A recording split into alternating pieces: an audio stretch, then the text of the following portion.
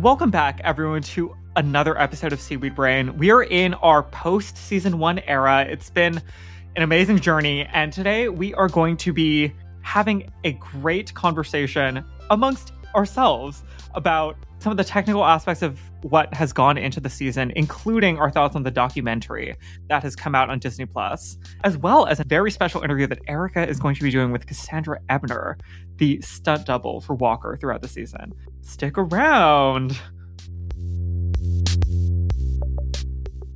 I realize we've been doing a really bad job with being like professional podcast people who introduce ourselves at the beginning of every episode. Is that something that people do at the beginning of every episode? I think it is. I think normal people like introduce their names. I guess because okay. they're like people with careers, and like Yeah. that's just not us. We're not a film critic at the Philadelphia Inquirer. In fact, I need people to not know what my name is because I have not stopped thinking. Tina, Tina Fey, Fey. about how authenticity is dangerous. Authenticity is expensive. expensive and dangerous and podcasts are forever and as somebody who like has a creative career as a performer people can't be knowing my thoughts about things and i'm getting more and more anxious about that by the day I actually watched the full Las Culturistas episode because, of course, Tina Fey is, I think, one of the most interesting creatives who is alive and working. And it was fascinating. It was a top to bottom phenomenal episode. You can't listen to it because it's, wow, look at me already delivering an authentic opinion. You can't just listen to it because it is Las Culturistas and you need a visual aid to figure out what's happening.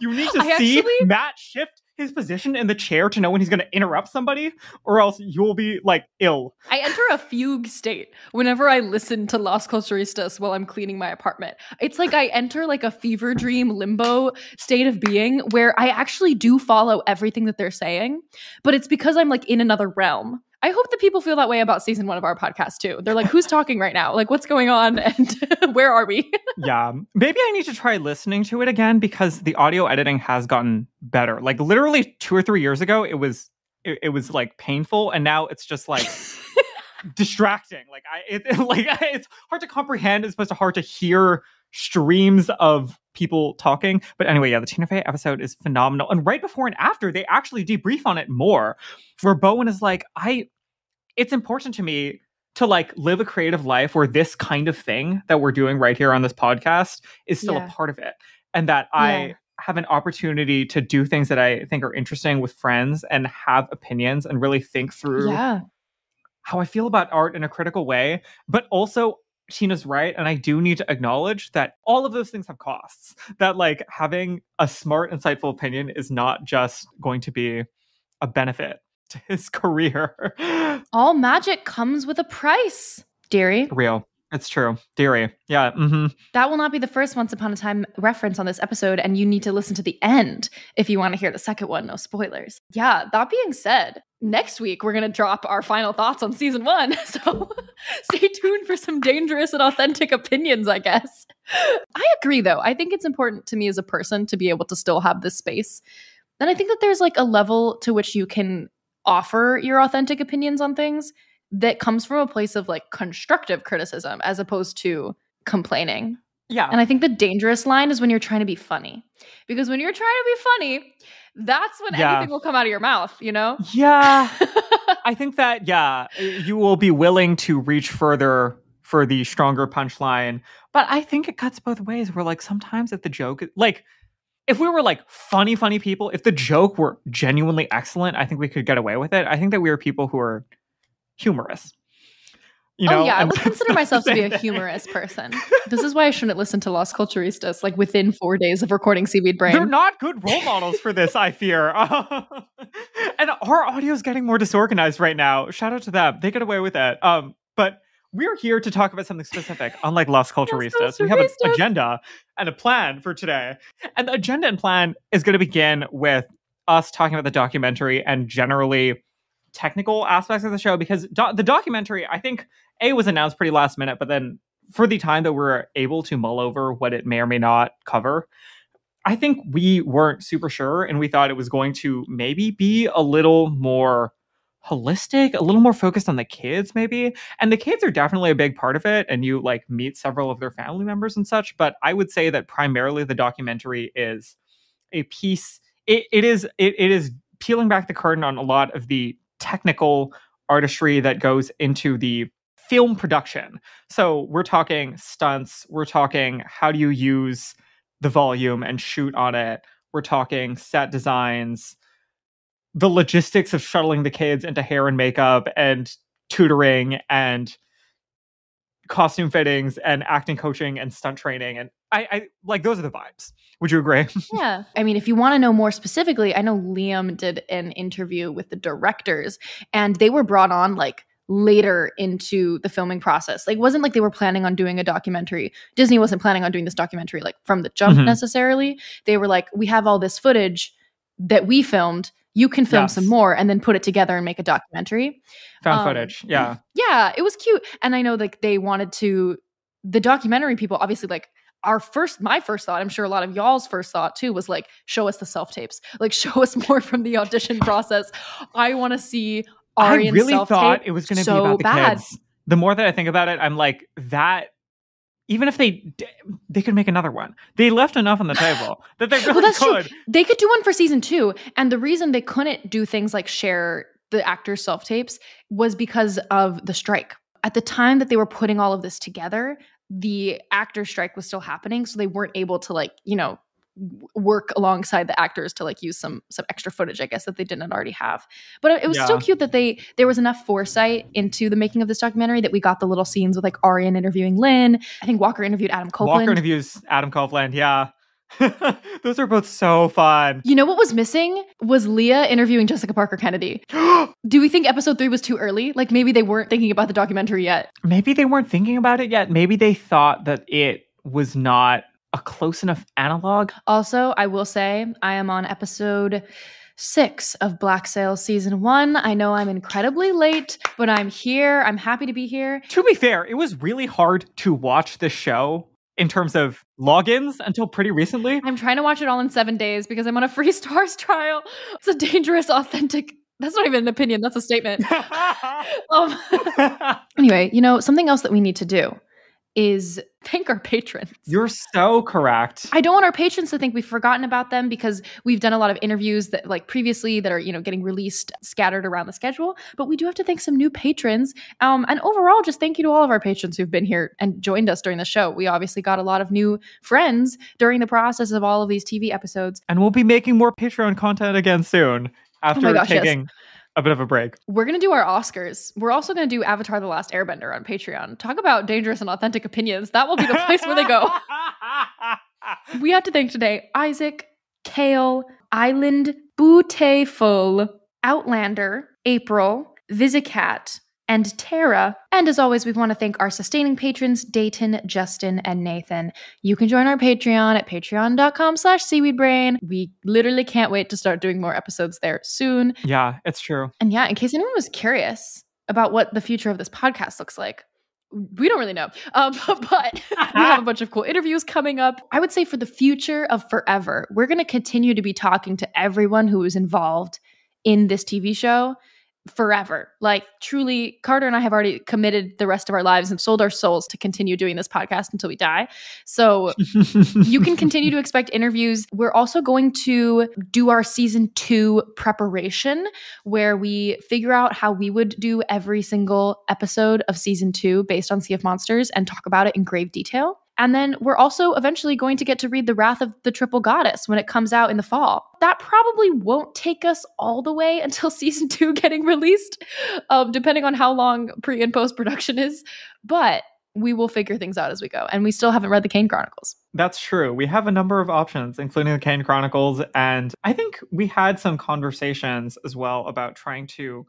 I feel like there is so much to say about season one, and interviews are one way to get at those types of conversations. And the other way is by seeking out people who have specific backgrounds or interests or expertises to bring to the table who were not necessarily a part of the production Yeah. we you know may or may not be prepping a music episode we may or may not be prepping a person who doesn't know anything about the books episode. We're definitely Um, also going to do a Percabeth centric episode now that we have seen the journey in its entirety, tracking it through the entirety of season one. Percabeth in review, Western civilization in review, perhaps. Yeah, we've got special specific topic analysis episodes as well as interviews, and then eventually season two prep, and then also Wrath of the Triple Goddess on the horizon. All of that being said, I'm actually really excited that we did this little intro portion here because I was getting really afraid that I was going to have to release the first ever episode of Seaweed Brain without Carter ever, and I didn't want to do that. think about that.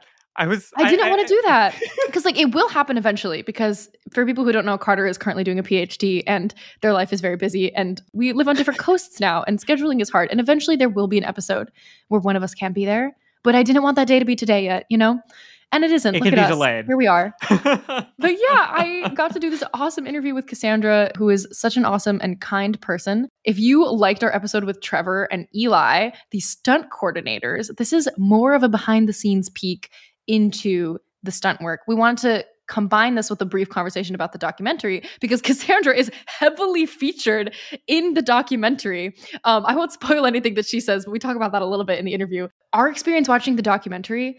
I mean, you can literally watch us watch it for the first time on YouTube if you haven't That's already. Because we were all together, us, Monster Donut, Newest Olympian, and Robert from the Damn Meme page. We watched it together. The best part of the documentary was when we saw Robert in the documentary wearing our hoodie that says Camp Half Blood Counselor. You can get that on our TeePublic. That was really fun.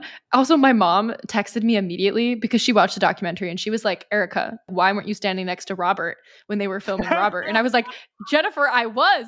I literally tried to walk across that camera so many times. I tried to do an artsy wipe, you know, so that they could like catch my orange. I just think my cosplay wasn't good enough for them because I even asked them, I was like, what are you filming? Don't you want to interview me? And they just could not care less. I guess that is the lesson is that we all need to be like Robert and have visual signifiers that are very striking and tall. Yeah, the Detective Pikachu hat. Yeah. We need to become like fascinator people, maybe. Fascinator? Yeah, like you clip like a mini tiny little hat into your hair that has like a huge feather coming out of it. Do you want to? I would do that if you did it with me. Specifically, Don't tempt me with a tiny hat. specifically, if we were ever at a place where there might be Disney cameras rolling, I think now that we've had this conversation, we got to roll up with with Fascinator so that they know we're cool, interesting people who can be spotted from really far away. I think what we need to do is prepare like really intricate Hunters of Artemis cosplays so that we can whip them out whenever we need them. Because I've been recycling the same Nico Ah. di Angelo outfit for like a year Yeah. now. hmm We need like a silver circlet and the hunting jacket and the camo. Like a silver glowy like puffer is I think how it's described in some parts of the book, and like silver arrows. We could do that. We could also really commit to Grey Sisters cosplay. like we're gonna it's just the eye thing, right? We roll around in dirt. A cab to bring with us, maybe that's silver. Oh, we could like do like a cardboard box thing where we're both standing inside Cardboard the cardboard box box, and we have it like over our shoulders. Lightly slapping each other and like throwing an eyeball around. Yeah. Yeah, but then we would need one extra person. That's true. There are three. The third one could be like a dummy that we support between the two of us, Weekend at Bernie style. Okay, now I'm seeing the vision. We need to go to a craft store. All right. All that being said, please now enjoy this conversation with Cassandra Ebner. Yay! Thank you so much for having me. I really appreciate it. Thank you for joining us. I know that the the life of a stunt person, much like anybody in the industry, you're like constantly jumping between different projects. So I know you're in the middle of something else right now. Thank you so much for taking time to come join us on our podcast and reminisce about Percy Jackson. Of course, I loved the show and working on it so much. So when you said, "Can you be on it?" I was like, "Uh, yeah, let's talk about Percy Jackson."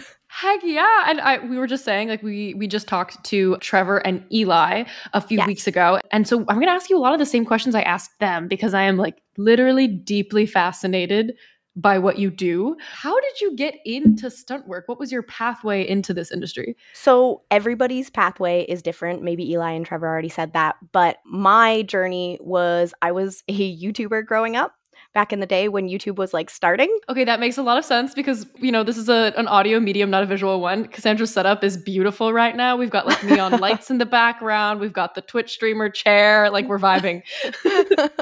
yeah, so I grew up uh, making my own movies when I was like 13, and then I played rugby in high school, and then like I kind of did everything that I could that was related to film in my small town because I was like, I want to get into the film industry ever since I was like a little girl. I was like four years old, and I was like, I want to be a superhero, but I didn't know what like that was necessarily. Like I thought it was acting. So I did like a lot of acting. But then once I learned how to film make and I saw people on YouTube doing stunts, I was like, that, that's what I want to do. And so I kind of tried doing my own sort of like training for stunts. And then Right. eventually my dad connected me with a stunt coordinator because he was like, You are so into this still, like for like two years. And he was like, We're gonna go talk to a stunt coordinator that I know that I grew up with. He like uh he used to like live together in Edmonton with the stunt coordinator, but at the time they were just buds doing theater. Wow. Yeah, it's a small world. So we went down to Vancouver, BC, and I talked with him, and he was like, It's really hard to get in. Like, you can't wear any pads. Like, you have to be super tough. And everything he was saying, I was like, This makes me want to do it more. So Yeah. my super stubborn self was like, Yeah, that's what I want to do. And so he gave me a list of things that I should do. I'm obviously paraphrasing the journey a little bit sure. but I'm like fast tracking you. And so once I graduated, I moved to Vancouver and was in search of the stunt community to like learn more, find where the classes were, try to get all the skills that like people were telling me about. And my ah, YouTube. yeah. Fans connected me with two stunt people here in Vancouver. So wow. because of them, I was able to like get and meet so many people. And then I started training at all the places, volunteering on stunt projects and volunteering on projects, and became a PA and kind of just like did everything I could to get into stunts. So, cut to one of my very first gags was getting hit by a car because they needed somebody who could act and who was not going to run away from a car. yeah, totally. I did that and that kind of like skyrocketed and people started to know me from there and just got really involved with the community and and it's been really great because I like all those people are like my friends so it's been pretty cool. Wow. So after that first fateful getting hit by a car, how many times would you say you've been hit by a car now? That was it. That was That it. was, that was the like- only time. Some people have never been hit by a car so like everybody was like what are like you're getting hit by a car like this is a dream stunt and I was No like way. I don't know. I was like I don't know what's happening. It was so cool. Like it was like out of a movie experience. Like they called me, I went to the producers, they met me. I went to wardrobe and I was like what is happening? And then they brought me here, then they hit me with a car a bunch of times that was padded and then I was like where am I? And then I was on a bridge and dancing in Arrow season 1 and got hit by a car. Wow. So you booked like a big stunt. That was a big deal. It that was first that first job. I was really grateful. I don't know where I would be if I hadn't gotten that. That's just so cool. Um, what do you think is like the biggest misconception people have about stunt work or about being a stunt person? the biggest misconception is that like well it's different because everybody does stunts i think for a different reason but i think people are like oh you guys must like to get hurt like that's like a thing people always think and then we're like well we're used to it it's not like we seek out like i'm not like on my weekend and i'm like ah i just want to punch walls and break my fingers like Yeah. that's not my pastime. It's about how can we make something look gnarly and or like magical or something like that and how do we do it in a way that's safe. So that's like our job is to like make magic and make it look like it's hurting even though it does sometimes, but like that's kind of what our job is to do is make it safe. Movie magic. Movie Movie magic. magic. That's so funny because I actually my next question that I was going to ask you was like, what do you do for fun? Like literally, what do you do? What is a stunt performer do on the weekend? Or do you like crochet and knit because you need to do something quiet, or do you like go bungee jumping? You know what? You are like right on to the like right path. It kind of depends on like what I'm doing for work at the moment. So like if I'm not working all the time, I'm probably training on my weekends and it kind of becomes like a lifestyle. Um if I'm working and I've been training a lot at work, then I will probably like play video games and train some stuff on the weekend or like repair my body. Mhm. And like another thing that I like to do like in my spare time is make my own movies. So I still like to do that when I have the time. That's beautiful. I love that you still do that because it fulfills your creative drive and it, feeds your soul to do the thing that you started doing in the first place. Yeah, I try to remember that. Sometimes it's really hard because you're busy and you're tired, but to like fight for the reason why you do it is I think so important cuz Yeah. you want to appreciate the opportunities and and getting to do this and you want to keep like the love for it, you know? Oh yeah, because sometimes opportunities, you know, they come and go, whatever. You think you get to a point in your career as like an artist or a performer where you're like, "Oh, now I've made it because people are paying me to do the thing I want to do." But it's great to be able to go back and be like, at the end of the day, I do it because I enjoy doing it and it's just fun. That's really really important to me because I yeah. like working especially with kids. Kids are like so authentic and I want to be authentic with them.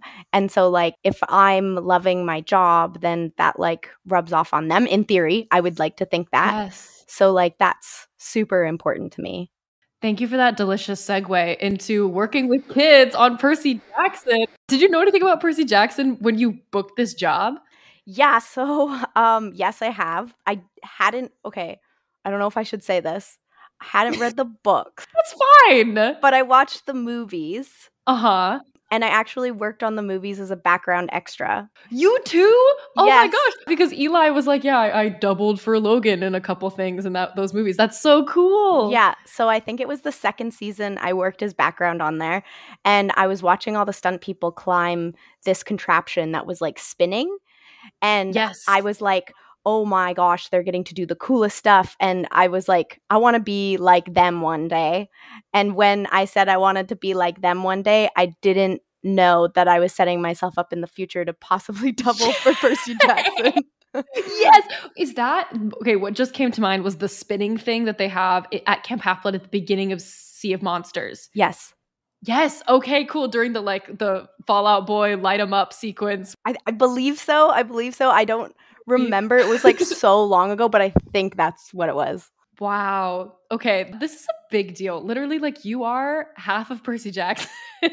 Oh, well, Walker is so freaking talented that like I got to like help get him to the places that he needed to get and like Eli and Trevor and everybody helped like the whole stunt team helped him get there and I was like mostly a cheerleader for a lot of it like sometimes I like filled in when they the kids pumpkined so like if they were in a precarious place like up on a ledge really high I would be the back of Percy Jackson's head but Walker did so much of it. Like he did the fight scenes and like we threw him into some of the rigs and like he was into it. Like so I can't say I'm half of Percy Jackson. I'm like I'm like uh maybe a quarter. I I don't even know. Like he was so good. It was like awesome.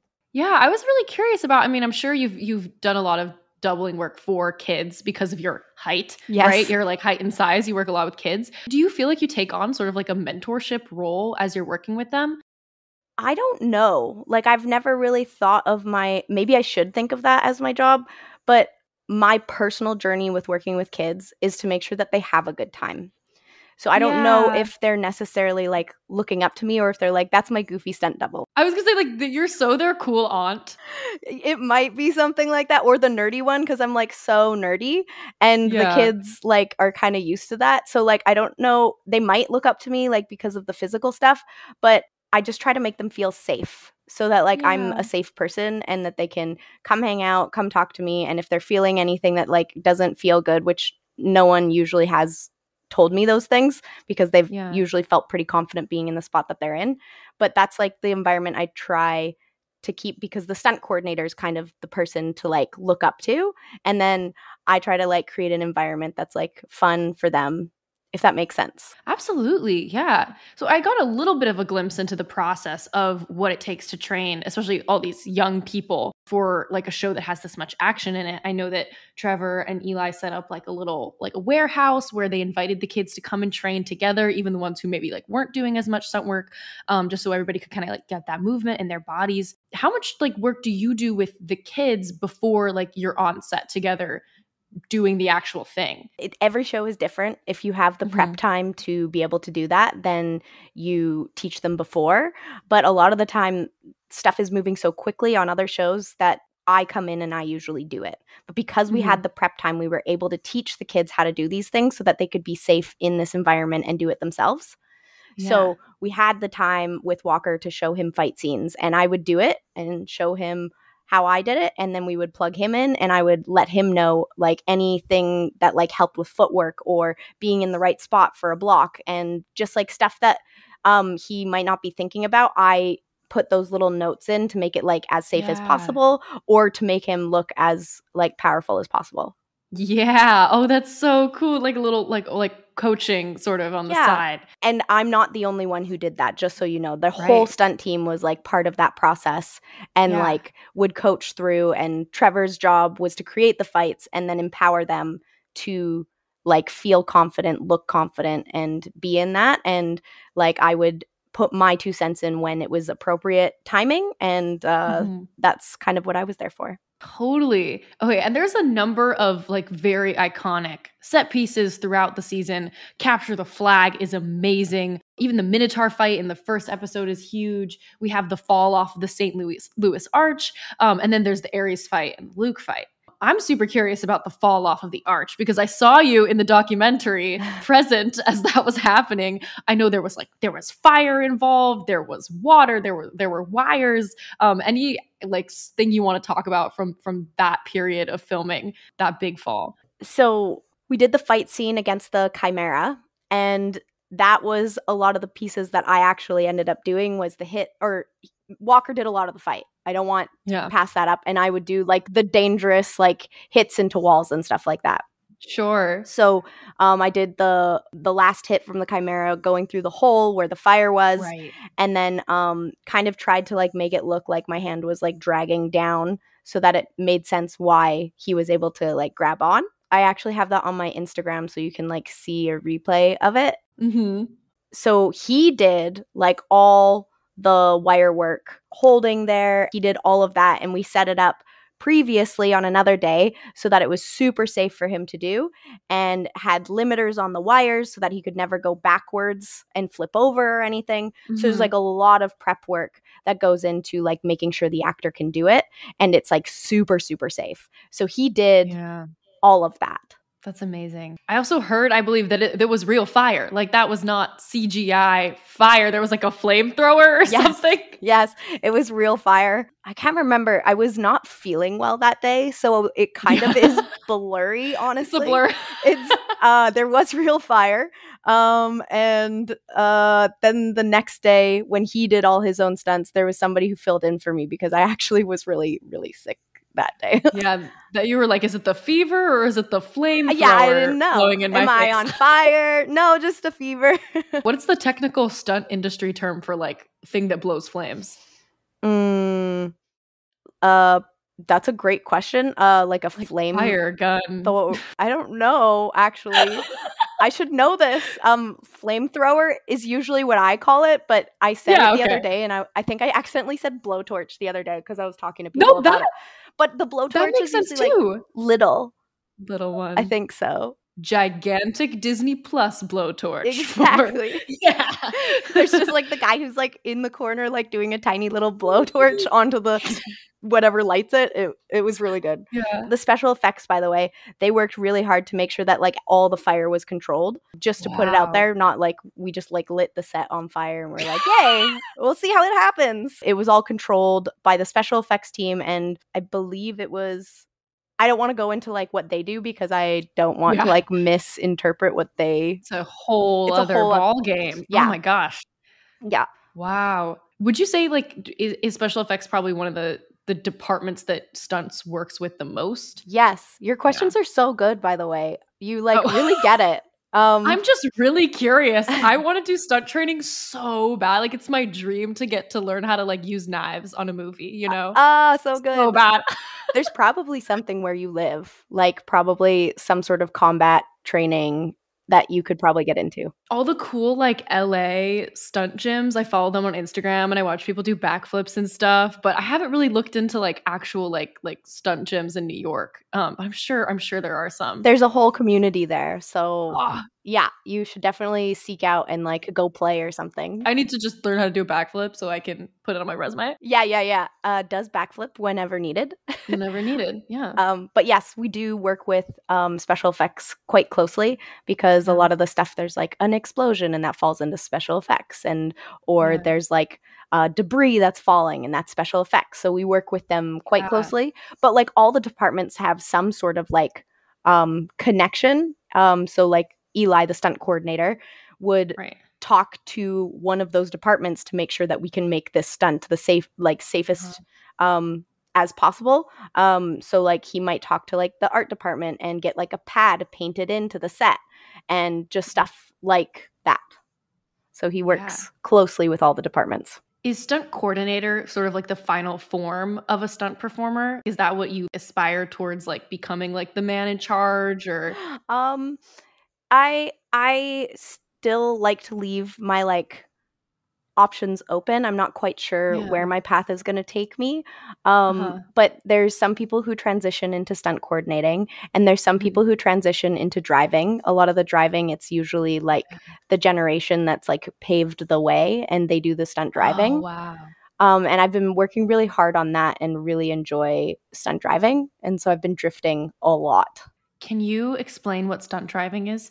Yeah, stunt driving, like whenever you see a movie where there's a car, like in Percy Jackson, where the car, Yes. the kids were driving the car, there Uh-huh. was a stunt driver in the car. And um, that sequence was actually when I was sick again. So I, uh, I, I, that was within like the same week that like everything. Vancouver is cold and chilly. Yeah. We got to change the weather so you're not getting cold so much. Oh man, I just like get sick all the time. This is so funny. Yeah.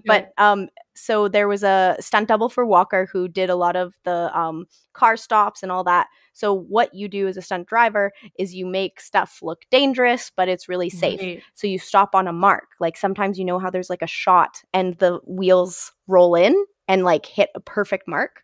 Somebody has to learn how to do that. It's not easy because you have to like get it perfectly in frame. And then what if you're sliding a car and then you have to get it perfectly on a mark? So there's like a bunch of different things people train to like make cars do stunts essentially. Yeah, people are just so talented. There's like endless things you can like transition to. And Yeah. the two things that I told you about aren't necessarily like every single person's way. Yeah. There's lots of different avenues people can go after like stunt performing for a long time. There's like stunt performers who are like in their 60s who are still falling down and they're like so jacked and it's like so inspiring. And I bet they take such good care of their knees. Yeah. yeah, they're just always doing cool downs and they're they're taking care of their bodies. so Yeah. they can fall down and get back up. That's inspiring. Yeah, it's super inspiring. When people are like, you can't do that, I'm like, I know a person who does that and I am not taking no for an answer. Absolutely. Was there like a favorite stunt that you got to do or like be part of or like help like help Walker with throughout the season? Is there one that really stands out? I really liked I really liked teaching um Walker and Charlie how to do the fight at the end. That was super fun because we it was Christmas time right before the break and so Uh-huh. we got to come in we had like Christmas lights set up for the kids and stuff and um we put on Pirates of the Caribbean so that they could Yes! fight to Pirates of the Charlie Caribbean. told us about this. yeah I think the video is out there now too. yeah and it was just like so fun to get them to do that and like that's like i want to make memories for kids like especially when they're mm-hmm. like working and like i want their experience to be super positive and so like that was super fun to be a part of and like there was other stunts we taught walker how to do but that like one was like i just loved seeing their faces light up and have a great time That sequence just looks so good. I mean, we have said it like 19 times now on the podcast between like our finale discussion and you know talking to Charlie and talking to Trevor and Eli, but like that sequence just blew our minds and it was so beautiful. Was so well done and the way that the dialogue wove into the action, everything about it. Charlie and Walker really like they really nailed it. oh yeah Especially we the way that it's not just it doesn't just look good, but the way that they're fighting says so much about their characters.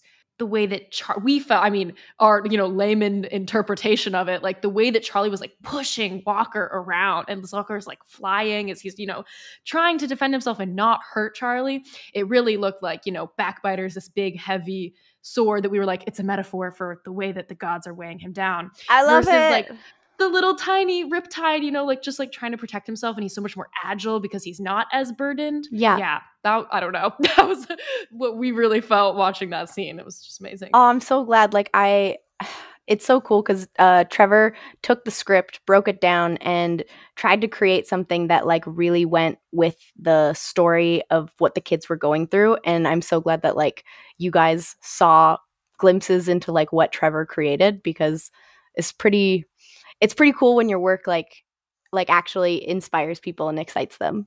Yeah, I have a very silly non Percy Jackson question Yes. before we end here. I think but I saw on your IMDb that you did an episode of Once Upon a Time. Yes. Okay, do you remember literally anything about that? Because we love that TV show. Um yeah, I I was so excited to be there because like I loved Disney stories and so like I felt Yeah. like I was part of Disney and I was like losing my mind when I got there. Um so I doubled for Belle cuz Belle was like the same size as me and there was like Mhm. a rowboat scene that I did. There was like a fall down like a um I worked on a few episodes but uh there was like a fall down something being chased by a bear of some sort and then I doubled the little boy as well one season because he was um shorter and so yeah. i doubled him driving the car in a scene and he like fails to drive the car and like parks like really bad that's kind of some of the stuff i did on the show That's so cool. Yeah, we we were big fans of Once Upon a Time. It's like the silliest TV show and it ran for so long. it was so that it makes sense. It was so good, and it makes sense that like so many people, like we who we've like talked to, have like tangential like association with it because it was a it was a long running network show. it was yeah well, thank you so much, Cassandra, for spending a bit of your evening with us, taking time out of your busy schedule. Your life is so cool. if there's anyone listening to this, particularly young people or not young people, you can be 60 and drive a car and fall down fall into a flamethrower yep any advice that you would give to people who are like, wow, this sounds like something cool that I would like to get into? I think the advice that comes to mind for me right now is like be innovative because a lot of people uh it's not like one path for anybody. People will give you lots of no's or there's like a place that you can't train or any of those things or you don't have the money to train, go volunteer at like a taekwondo school. Maybe you had a friend in school who did gymnastics and you're like, "Hey, can I trade skills with you? I'll teach you how to do this. You can teach me how to do this." Like if you want to do this, you have to love it because there's going to be so many roadblocks and you have to be ready to dodge them or go around them or fight swords through them. And so that's my advice to anybody who wants to get into stunts. Yes, trading skills is so important. And like, if you don't have any money, like just go into a grassy area somewhere and, and trade skills with your friends. Totally. I used to do that. I used to like bring a bow staff out to a field and I would just teach myself how to do bow staff stuff. And it's like just pick something up and try it safely, safely, but but safely. yes. but play. Like that's kind of like we all used to play as kids and we all Mhm. did sword fighting with the Christmas wrapping paper. Oh, yeah. Or pool noodles. Yeah, well you can be creative and have fun and like yeah, just be innovative. Hashtag but safely. Yeah, but say hashtag but safely. That's the stunt performer motto. Yeah. yeah. and uh, if you're like, I want to go light myself on fire, I would really recommend that you do that in a safe environment. Like, don't uh, don't just go try that at home. Um, this is not what I'm saying, but there's stuff that you can do on your own that doesn't necessarily require money right away. We all have the availability to try. There's so much stuff on YouTube. Um, yeah. Yes, uh, Cassandra, where can people find you on the internet? Be that, you know, Instagram if you want to plug your Twitch, like anything you would like to share. um, I have a Instagram that I post on quite a bit. Uh, it's Cassandra.ebner. It's C A S S A N D R A dot E B N E R. That's pretty much my handle almost everywhere. Or my like really old YouTube videos are Nerds4L, and that's like also my um Twitch as well. If you want to come hang out once in a while, but it's once in a blue moon that I Twitch, like very rarely.